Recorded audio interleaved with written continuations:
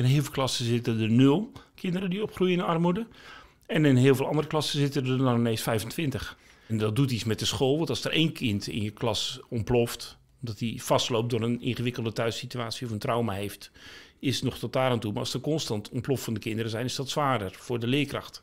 Dus het leerkrachtentekort op deze scholen is veel groter dan op de makkie-scholen. Het tweede wat ik zie is dat de hulpverlening uh, op de scholen waar ik kom veel moeilijker in stand komt dan op de scholen waar ouders zitten met geld.